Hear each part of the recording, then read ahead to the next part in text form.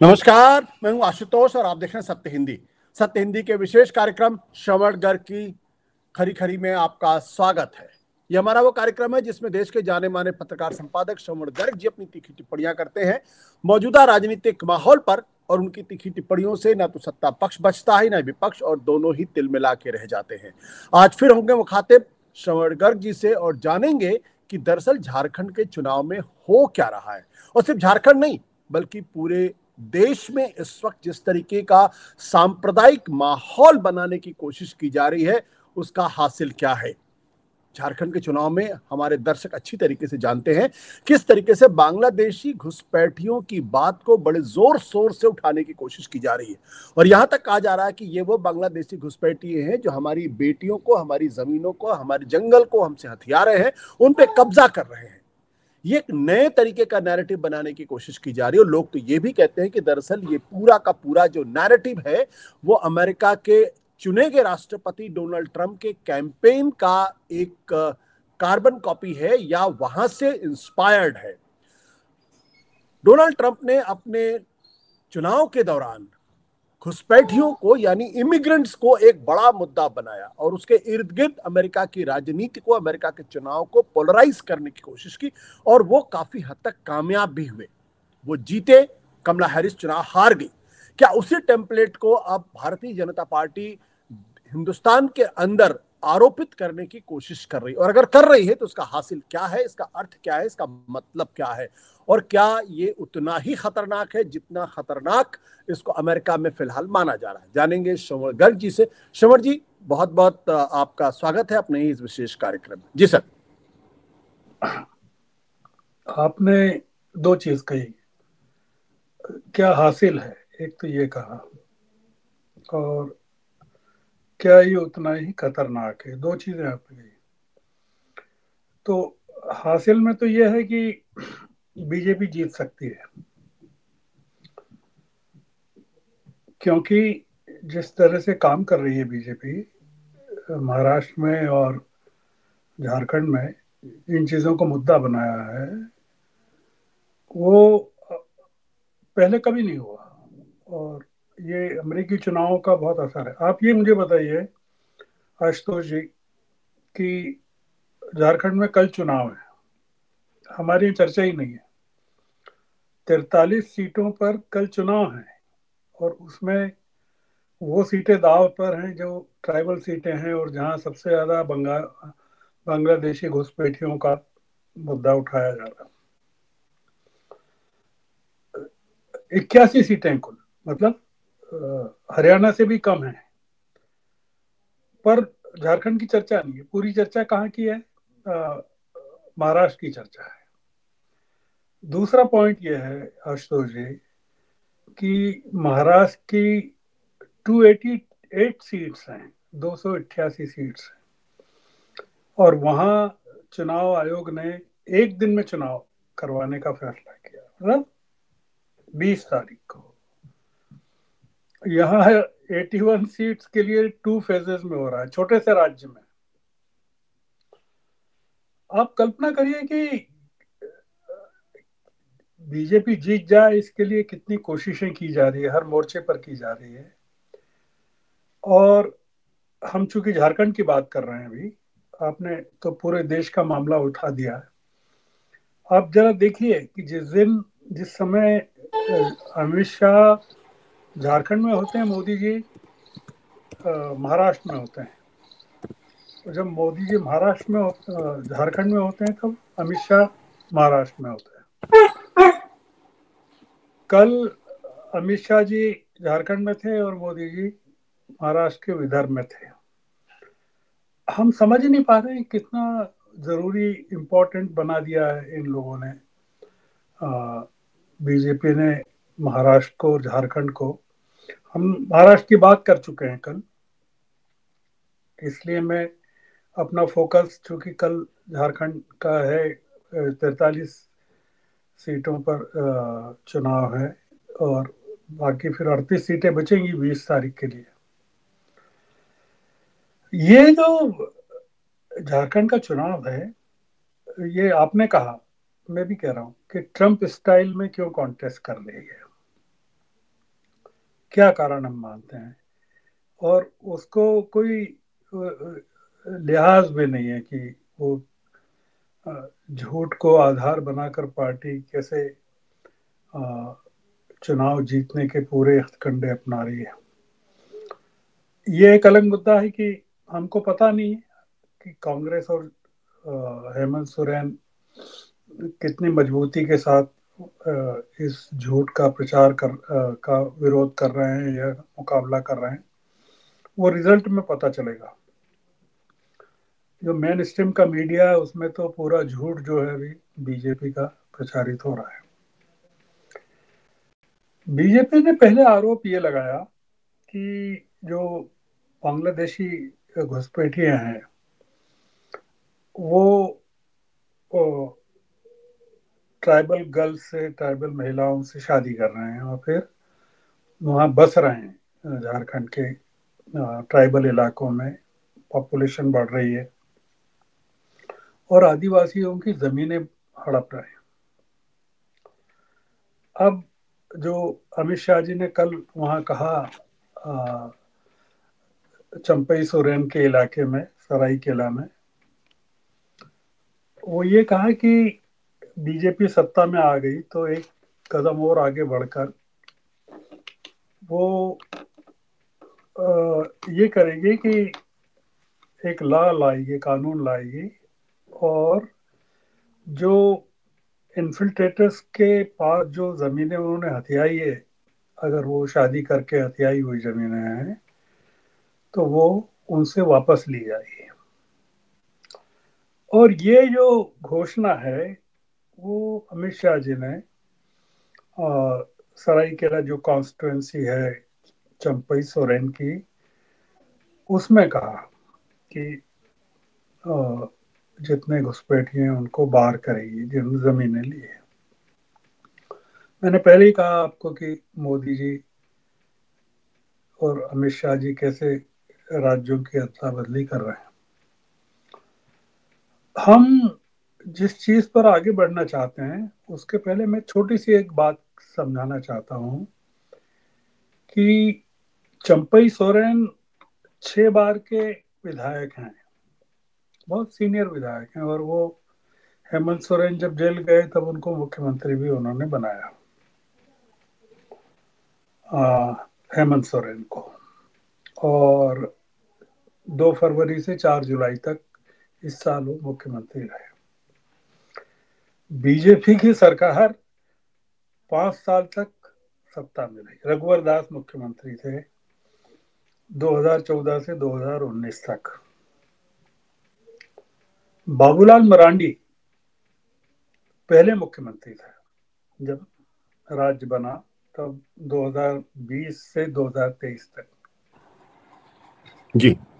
न तो चंपई सोरेन को दिखा कि बांग्लादेशी जमीनें हथिया रहे हैं और ट्राइबल्स महिलाओं से शादी करके बस रहे हैं।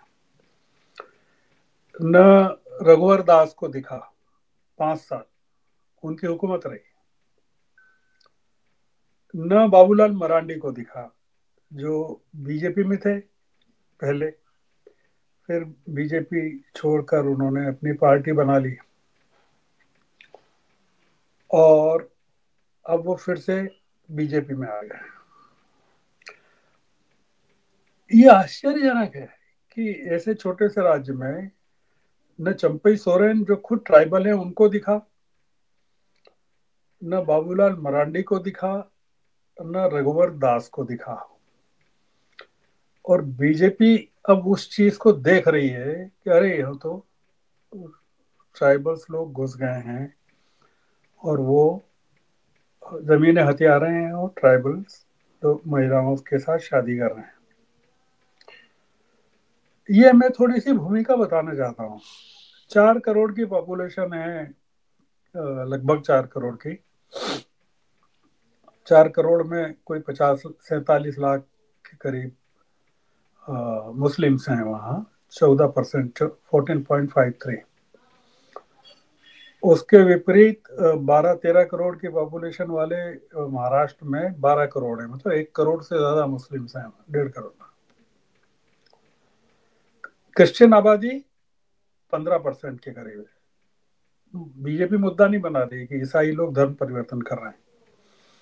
न यहाँ कहा अमित शाह जी ने, जैसा महाराष्ट्र में कहा कि हम धर्म परिवर्तन के लिए कानून लाएँगे धर्म परिवर्तन के खिलाफ। यहाँ नहीं कहा। क्योंकि ईसाइयों से प्रेम। ट्रंप से प्रेम, जो ईसाइयत के दम पर वो जीते हैं, वहाँ। महाराष्ट्र में झारखंड में करीबन अड़सठ परसेंट हिंदू पॉपुलेशन है।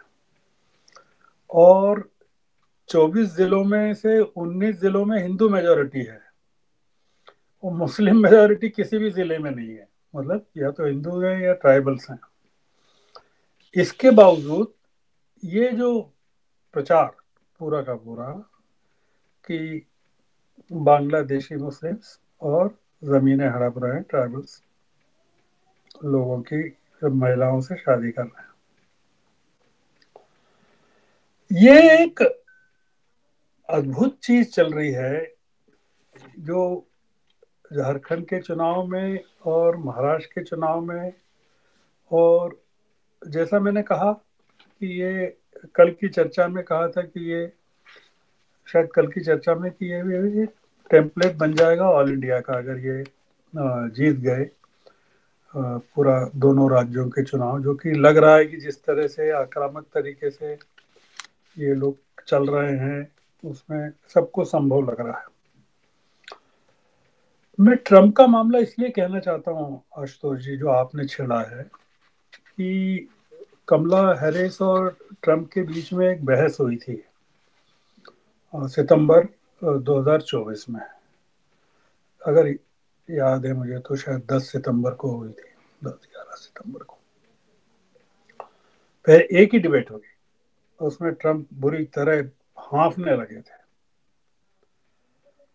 उसमें ट्रंप ने आरोप लगाया था कि जो ओहायो स्टेट है अमेरिका का, वहाँ पर जो हेती के घुसपैठिए हैं इन्फिल्ट्रेटर्स हैं, वो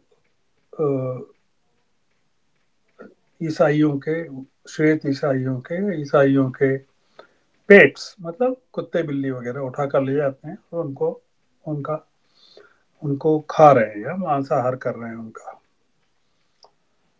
और ये जो आरोप उन्होंने लगाया था सितंबर में, वो बाद में सारे अखबार वाले जुट गए उसको पता करने कि ओहायो के स्प्रिंग फ़ील्ड में ये सही है क्या। झूठ पाया गया, पूरी तरह से झूठ पाया गया। सारे अखबारों ने भी और अपमानित किया ट्रंप को। ट्रंप ने भी कहा, भाई, मुझे तो किसी ने कहा था। पूरे इन्वेस्टिगेशन में। पॉइंट क्या है? सब लोग ये मान रहे थे कि इस झूठ के कारण ट्रंप हार जाएँगे। कम से कम ओहायो में तो हार जाएँगे। ओहायो में सत्रह इलेक्ट्रल वोट्स हैं आशुतोष जी। ट्रंप वहाँ से जीत गए। ओहायो में। मतलब ओहायो के राज्य के नागरिकों ने भी ट्रंप के झूठ को स्वीकार कर लिया। और अमेरिका के वोटर्स ने भी स्वीकार कर लिया कि जो ट्रंप कहते हैं वो सही है।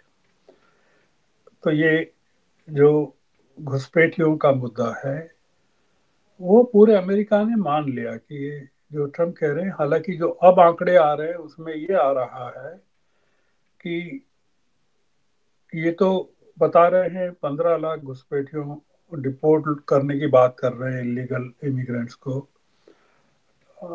बाइडन के ज़माने में तो आंकड़ा जो आ रहा है, पचास लाख लोगों को डिपोर्ट किया गया था। और ट्रंप ने अपने पहले कार्यकाल में बहुत कम लोगों को डिपोर्ट किया था। अब मुद्दा यह है, जैसा मैंने शुरू में कहा, कि झारखंड एक बहुत ही छोटा राज्य है मैंने पहले भी कहा कि हरियाणा में नब्बे सीट्स थी और यहाँ इक्यासी सीट है। इतना झूठ बोलना पड़ रहा है बीजेपी को चुनाव जीतने के लिए और वहाँ आप सोच सकते हैं कि वहाँ क्या किया जा रहा है। जो फडनवीस हैं, उन्होंने बॉम्बे में कहा कि हम ये रजादार जो हैं रजाकार जो हैं, मुस्लिम जो हैं उनके हाथ में सत्ता नहीं जाने देंगे मुंबई में। मुसलमानों का मामला वैसे ही बड़ा मुद्दा बनाया जा रहा है, जैसा ट्रंप घुसपैठियों के मामले में या मुस्लिम देशों के मामले में। वो अगर आपको याद हो तो पहले कार्यकाल में आते से ही उन्होंने कुछ मुस्लिम देशों से आने वालों पर प्रतिबंध लगा दिया था। अब ये जो है महाराष्ट्र में कटेंगे तो बटेंगे ये भी एग्जैक्टली वही है जो यहाँ ट्राइबल्स पॉपुलेशन को डराया जा रहा है कि तुम लोग माइनॉरिटी में आ जाओगे। और उनको कहा जा रहा है कि ये आ, इनको ये जो ट्राइबल पॉपुलेशन कम हो रही है वो कह रहे हैं कि आपकी आबादी ट्राइबल्स की कम हो रही है जनसंख्या। और इसको जो है हेमंत सोरेन की सरकार ने इन्फिल्ट्रेटर्स को संरक्षण दिया है।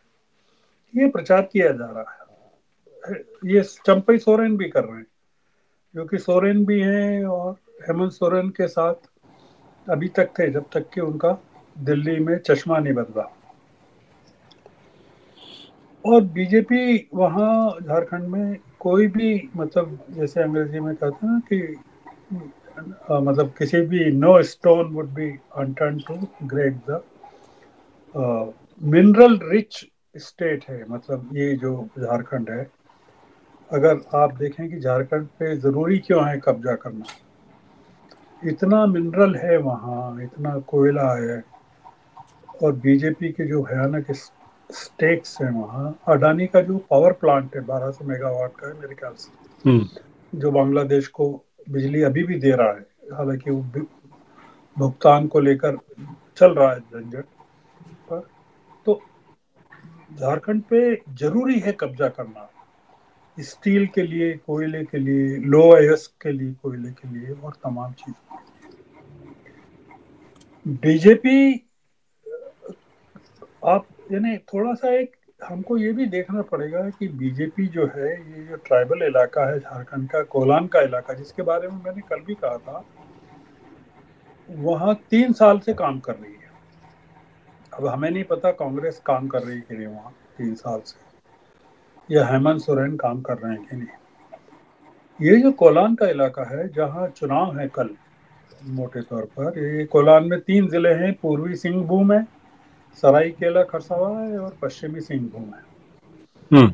और इसकी जो पॉपुलेशन है ये पूरे इलाके की वो पचास लाख के करीब है। अब इसमें चौदह सीटें हैं।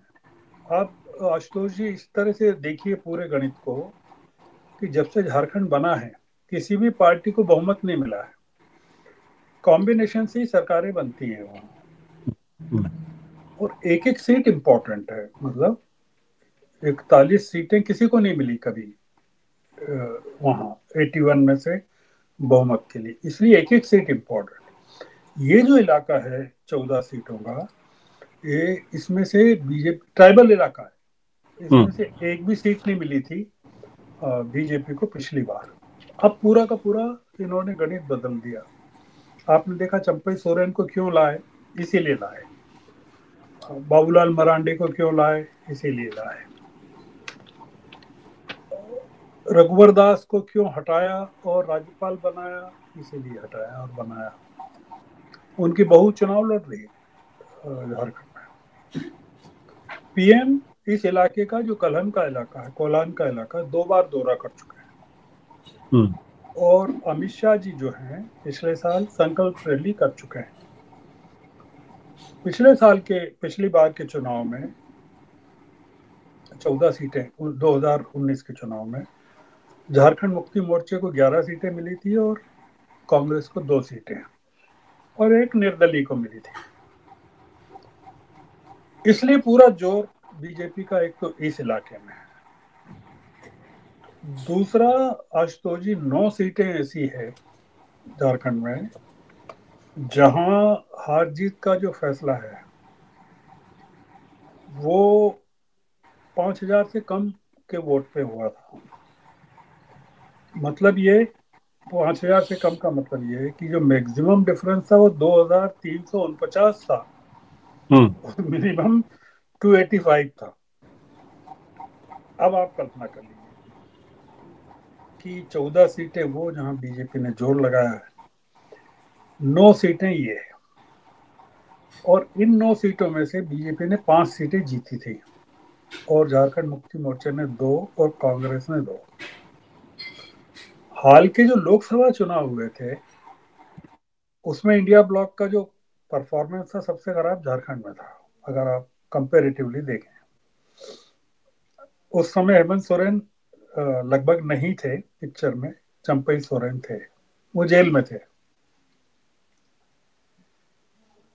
इसका मतलब क्या है कि लोकसभा के चुनाव में बीजेपी ने पाँच असेंबली सेगमेंट्स में आ, मतलब आठ असेंबली सेगमेंट्स में जीत हासिल की चौदह में से, जो उसने पाँच पर जीत हासिल की थी 2019 में। अब आप सोच सकते हैं कि इस बार की जो टेली रहेगी नौ सीटों की, उसको रिवर्स करने की बीजेपी की कितनी कोशिश रहेगी? तो कुल मिलाकर, आशुतोष जी, हमारी बात का जो हम उपसंहार निकालना चाहते हैं, वो ये निकालना चाहते हैं कि झारखंड की तरफ़ आ, मीडिया का भी ध्यान नहीं है देश की राजनीति का भी ध्यान नहीं है किसी का ध्यान नागरिकों का तो है ही नहीं बिल्कुल और कल चुनाव है वहाँ और महत्वपूर्ण चुनाव है जो कि झारखंड का भाग्य बदल देंगे तैतालीस सीटें तो इसलिए और हम जो अपने दर्शकों को बताना चाहते हैं वो ये बताना चाहते हैं कि ये पूरा इलेक्शन झूठ की बुनियाद पर लड़ा जा रहा है, जिसमें मुख्य मुद्दा मुस्लिम इन्फिल्ट्रेटर्स का है, घुसपैठियों का है, मुद्दे नहीं है। बीजेपी कुछ बताने को तैयार नहीं है कि उन्होंने क्या किया है। कास्ट सेंसस की बात वहाँ नहीं करती है बीजेपी महाराष्ट्र में भी नहीं कर रही है। रिजर्वेशन की बात केवल यह है कि भाई आपका जो रिजर्वेशन मिल रहा है वो बदला नहीं जाएगा। कांग्रेस आपका रिजर्वेशन हड़प लेगी, खत्म कर देगी। कॉन्स्टिट्यूशन कोई मुद्दा नहीं है वहाँ। वहाँ आप देख रहे हैं कि कितना लोग दल बदल करके सरकारें गिरा सकते हैं, बदल तो अपने दर्शकों को आशुतोष जी बस यही संदेश कि वो तमाम लोग जो कुछ समय पहले तक ये बात कर रहे थे कि हेमंत सोरेन को जेल भेजे जाने का लाभ मिलेगा या चंपई सोरेन दल नहीं बदलेंगे या तमाम चीज़ें होंगी। हमको अब आ, मैं महाराष्ट्र के बारे में अभी कुछ नहीं कह रहा हूँ मैंने पहले भी कुछ नहीं कहा था। झारखंड के बारे में कह रहा हूँ कि इतनी ज़्यादा ताकत और इतना ज़्यादा झूठ का प्रचार वहाँ किया जा रहा है। कि वहाँ कुछ भी हो सकता है। तो इसलिए हमारे दर्शकों के लिए संदेश ये है कि अमेरिका के चुनाव जिस आधार पर जीते गए अब भारत में टेम्पलेट वही चलेगा। वहाँ ईसाइयत का वहाँ कोई मुद्दा ही नहीं है अपराधी हो आप आपके खिलाफ क्या आरोप हैं? आपने संसद पे हमला कैसे किया आपके लोगों ने? कुछ नहीं। मुद्दा केवल एक झूठ और नागरिकों का उस पर यकीन हम्म। जो बहुमत के नागरिक हैं वाइट्स हैं ईसाई हैं वो यहाँ हिंदू हैं तो वो बीजेपी के झूठ पर उनका यकीन अगर हो जाता है तो ये जो चुनाव है महाराष्ट्र के और झारखंड के ये बहुत ही जिसको कहते हैं कि महत्वपूर्ण चुनाव हमारे भारतीय लोकतंत्र के लिए बनने वाले हैं। अमेरिका में लोगों को लोकतंत्र से कोई मतलब नहीं था। उन्होंने रिजेक्ट कर दिया। लोकतंत्र क्या होता है? यहाँ भी न कॉन्स्टिट्यूशन कोई मतलब है न लोकतंत्र कोई मतलब है। हिंदू मुस्लिम मतलब है। तो इसलिए अपन तो जो चर्चा करते हैं वो अपने दर्शकों को थोड़ा सा जागरूक करने के लिए करते हैं। और तो कोई मुद्दा होता नहीं है। जी। तो अगर हमारी बातचीत से दर्शकों को थोड़ा सा भी लाभ मिले तो हमारी ये आज की चर्चा फ़ायदेमंद होगी। जी। ठीक है sir thank you sir thank you sir thank you